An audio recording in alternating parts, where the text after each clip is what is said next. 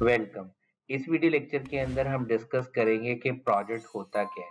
सो so, जब हम project को डिफाइन करने के लिए जाते हैं तो उसके अंदर कुछ की वर्ड्स हैं जो कि जब भी हम प्रोजेक्ट को डिफाइन करेंगे तो वो की वर्ड्स जो है वो डिस्टिंग्विश कर रहे होते हैं कि हम प्रोजेक्ट को किस तरीके से डिफाइन कर सकते हैं और ये किस तरीके से ऑपरेशन से डिफरेंट होता है। क्योंकि जब हम ऑपरेशंस को डिफाइन कर रहे होते हैं या किसी भी प्रोसेस को डिफाइन करते हैं तो हम कहते हैं कि वो एक डे टू डे एक्टिविटी है, वो कॉन्टीन्यूस एक्टिविटी होती है मीन रिपीटेड एक्टिविटी होती है, जो कि आप डेली बेसिस के ऊपर परफॉर्म कर रहे होते हो। जबकि जो प्रोजेक्ट्स है वो यूनिक होते हैं। जब हम यूनिक की बात कर रहे हैं तो दैट मीन कि वो टेम्परेरी इन नेचर होते हैं। और यूनिक का ऑल्सो मतलब ये है कि उनका एक डेफिनेट स्टार्टिंग पॉइंट होगा और डेफिनेट एक एंडिंग पॉइंट होगा। सो विच मीन कि हमारे पास ये कॉन्टिन्यूसली या हम रिपीटेड वर्क नहीं कर रहे होते एवरी प्रोजेक्ट किसी न किसी तरीके से जो है वो यूनिक होता है। चाहे मैं कोई घर कंस्ट्रक्ट कर रहा हूँ, या मैं कोई एक नया सॉफ्टवेयर डेवलप कर रहा हूँ, या एक नया सॉफ्टवेयर डिज़ाइन कर रहा हूँ तो ऐसे सिचुएशन में दैट्स पे हम कह रहे होते हैं कि प्रोजेक्ट जो है वो यूनिक इन नेचर होते हैं टेम्परेरी इन नेचर होते हैं, ठीक है? और उनका डेफिनेटली स्टार्टिंग और एंडिंग पॉइंट होता है। Okay okay? So that mean projects are completed when project goals are achieved. So that mean कि हमने एक एट द एंड एक गोल डिफाइन किया होता है कि जब भी हम उस गोल को अचीव कर लेंगे लाइक घर को कंस्ट्रक्ट कर लिया सो दैट मीन मेरा प्रोजेक्ट जो है वो कंप्लीट हो गया। So whatever the goal जो आपने अचीव करना है, ठीक है, वो that is indication of the project and remember that goals जो है, हम कह रहे होते हैं that must follow a smart rule okay so so, smart का क्या मतलब है? स्पेसिफिक होना चाहिए मेजरेबल होना चाहिए अचीव होना चाहिए achievable realistic and time bound so that mean like smart rule या गोल्स के पॉइंट ऑफ़ व्यू से भी हम प्रोजेक्ट को कर सकते हैं कि फॉर एग्ज़ाम्पल अगर मुझे घर बनाना है तो मैंने उसकी क्लियरली एक उसकी स्कोप डिफाइन किया हुआ है उसकी बाउंड्री डिफाइन की हुई है। ठीक है? Every dimension are measurable times are measurable कि हम कितने टाइम के अंदर इसको कंप्लीट कर लेंगे कौन कौन सी चीज़ें जो है वो हमने डिलीवर करनी है। फॉर एग्ज़ाम्पल अगर हम कह रहे हैं कि घर मुझे बनाना है सो इज़ इट कि हम इसको कंप्लीट कर पाएँगे विद इन थ्री मंथ्स और within six month what is the time कि, किस टाइम के अंदर हम इसको कर सकेंगे? और वो जो प्रोजेक्ट जो टाइम हमने सेट किया इज़ इट अ रियलिस्टिक और क्या हम उस टाइम के अंदर उसको अचीव कर सकेंगे या नहीं? सो दैट्स वाई हम कहते हैं कि आपने जो गोल सेट किया अगर वो अचीव कर लिया है तो आपका प्रोजेक्ट जो है वो कंप्लीट हो जाएगा। एंड ऑब्वियसली कि आपका प्रोजेक्ट जो है वो उस वक्त सक्सेसफुल होता है जब वो मीट uh, कर रहा हो या एक्सीड कर रहा हो expectation of the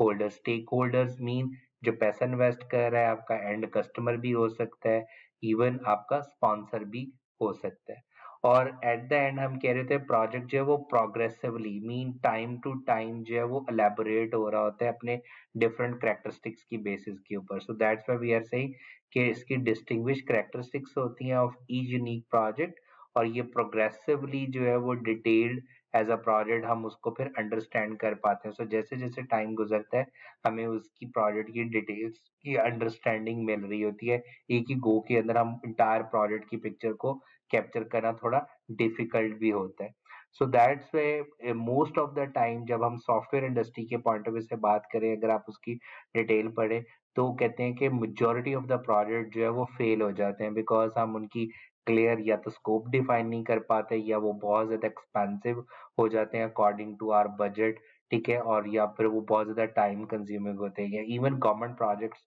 के पॉइंट ऑफ़ व्यू से भी अगर हम देखें तो उसके अंदर भी हमें ये प्रॉब्लम को फेस करना पड़ता है कि ओवर बजटेड हो सकते हैं हो जाते हैं समटाइम्स ओके या फिर बहुत ज़्यादा डिलेज आना शुरू हो जाते हैं बिकॉज़ हमें उनकी डिटेल आहिस्ता आहिस्ता with the passage of time जो है वो पता चल रही होती है।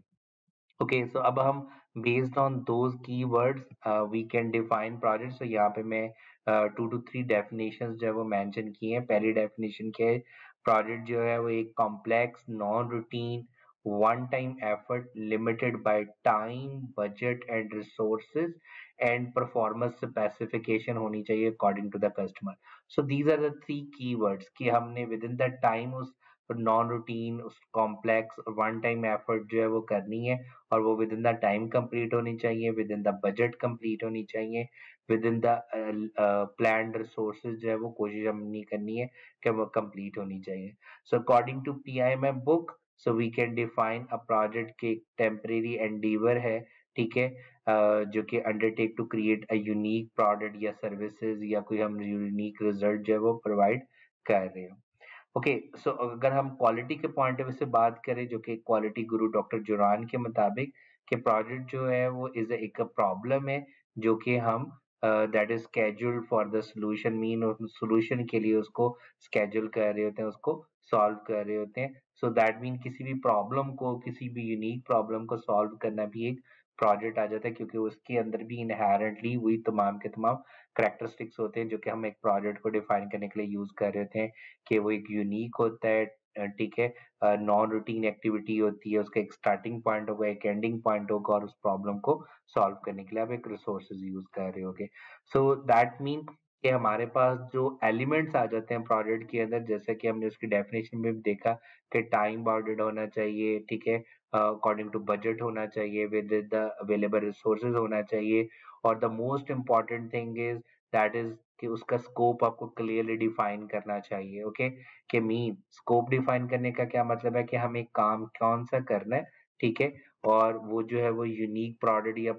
जो प्रोसेस या सर्विसेज़ हमने जो डिलीवर करनी है कस्टमर एग्जैक्टली exactly हमसे क्या चाह रहे हैं? सो दैट मीन कि अगर हम घर की कंस्ट्रक्शन की बात करेंगे तो हम क्लियरली डिफाइन करेंगे ओके okay, घर की जो कंस्ट्रक्शन होगी वो उसमें हमने क्या क्या चीज़ें लगानी है कौन सा मटेरियल यूज़ करना है ईच एंड एवरीथिंग आइडेंटिफाई की जाएगी। उसका क्लियर कट बाउंड्रीज उसका स्कोप जो है, काम का डिफाइन किया जाएगा, जो कि according to the customer requirement होगा। एंड टाइम ऑफ़ कोर्स के ये कितना टाइम लेगा प्रोजेक्ट कंप्लीट होने में, ठीक है, ताकि उसकी बेसिस के ऊपर हम स्केड्यूल कर सकें कि कौन सी एक्टिविटीज़ जो है, जिनके ऊपर हमें मेजरली फोकस रखना है, ताकि हमारा प्रोजेक्ट जो है, वो डिले ना हो। एज वेल एज हमारा बजट क्या होगा प्रोजेक्ट को मीन हमें प्रोजेक्ट को कंप्लीट करने में कितनी कॉस्ट आ रही होगी? And the fourth component is the quality